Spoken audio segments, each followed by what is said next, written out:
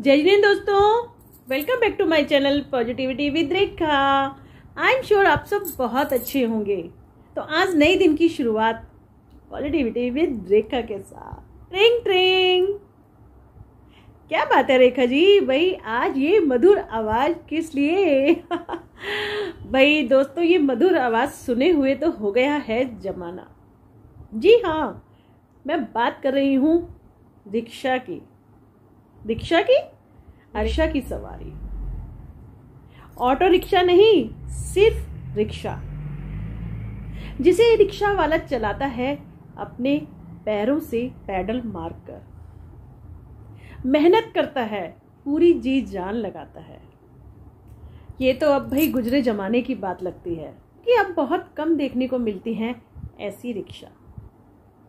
जिसकी घंटी होती है बहुत ही मधुर। मैंने तो अपने समय में बहुत सवारी की है इस रिक्शा की। आराम से धीरे धीरे और हम इसमें बैठकर आसपास के नज़ारों को, सड़कों के दोनों ओर बनी दुकानों को, ठेलों पर खाने पीने के सामान बेचने वालों को, और भी इसी तरह बहुत सारी चीज़ों को देखते हुए चलते हैं। ऐसा लगता है कि जैसे हम किसी शाही सवारी में बैठे हैं। ना बहुत तेज, ना बहुत धीरे एक बैलेंस गति से चलती है ये रिक्शा। ई रिक्शा में बैठ के तो वो आनंद ही नहीं आ पाता। रिक्शा में बैठकर शायद हम चले जाते हैं अपनी पुरानी यादों में, भरी गर्मियों में, भरी सर्दियों में। हर तरह के मौसम में अपनी मेहनत से इस रिक्शा को चलाना। आज भी शहरों की पुरानी गलियों में मिल जाती है ये रिक्शा की सवारी। शायद ही कोई इनमें बैठना पसंद करता है।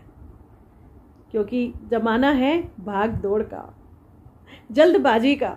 हर कोई अपनी मंजिल पर जल्दी से जल्दी पहुँचना चाहता है। और उसके लिए इलेक्ट्रिक सीएनजी इस तरह की रिक्शाओं से आसानी से हर व्यक्ति पहुँच जाता है। और दोस्तों, यदि कभी मौका मिले इन रिक्शाओं में बैठने का, इस शाही सवारी के आनंद लेने का तो ज़रूर उठाइएगा।